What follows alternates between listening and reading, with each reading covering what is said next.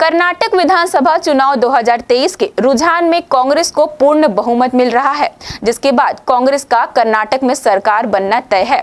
मुख्यमंत्री भूपेश बघेल ने कर्नाटक चुनाव के रुझानों के बाद भाजपा पर बड़ा प्रहार करते हुए ट्वीट किया है कि बजरंग बली जी के गदे का कड़ा प्रहार भ्रष्टाचारी भाजपा की हो रही हार। मुख्यमंत्री ने कहा कि कर्नाटक के नतीजे बिल्कुल उम्मीद के अनुकूल है।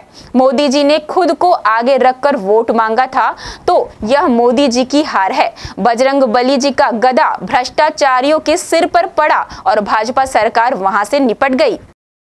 उसके बाद कर्नाटक जीते। हिमालय से लेकर अब समुद्र तक कांग्रेस ने सफलता हासिल की है और जो कांग्रेस मुक्त भारत की बात करते थे, अब दक्षिण भारत में भारतीय जनता पार्टी मुक्त हो चुकी है। भारतीय जनता पार्टी लगातार उनको ये एहसास हो गया था कि कर्नाटक में हारने वाले हैं। और यही कारण है कि मोदी जी की जगह सारे टेलीविज़न में नड्डा जी की फ़ोटो लगने लग गया है दूसरी बात यह है कि भारतीय जनता पार्टी के लोग फिर मोदी की जगह योगी योगी करने लगे, बुलडोजर की बात करने लगे। और भारतीय जनता पार्टी के नेताओं से पहले हमारे अरुण साहु जी को पता चल गया था। तभी बोले कि हम यहाँ उत्तर प्रदेश की तरह यहाँ भी बुलडोजर चलाएँगे। तो उनको पता है कि अब मोदी जी का जादू समाप्त हो गया है। तभी अरुण साहु जी लगातार योगी योगी करने लगे थे, बुलडोजर की बात करने लगे थे।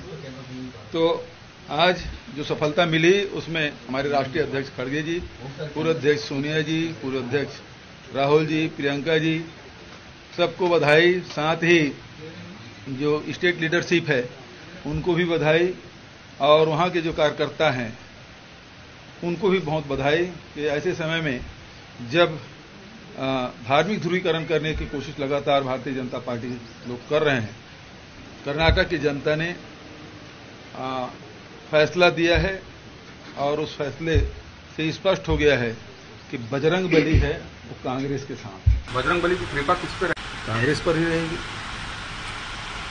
क्योंकि बजरंग बली है, अन्यायी अत्याचारी के पर ही कड़ा प्रहार करते हैं। तो गदा है, वो भ्रष्टाचारियों के सिर पे गिरेगा।